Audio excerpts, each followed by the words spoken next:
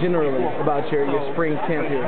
Um, I thought we started off pretty strong, and then we kind of evened out a little bit. And then we got ended up getting better today. I mean, when you finish strong, you know you got to feel pretty good about it. So, Um, what about from a personal perspective? I thought today was pretty pretty good. I think I started off pretty well.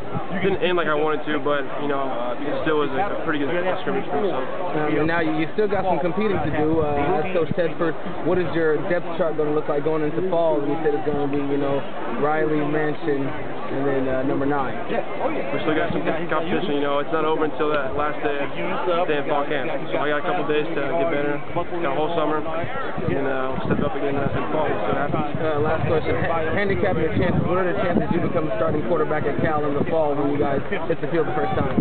Um, you know, I'm not really sure how to answer that, uh, but I think I have as good a chance as any of us three do. So. Thanks a lot. That's kind of a tough question.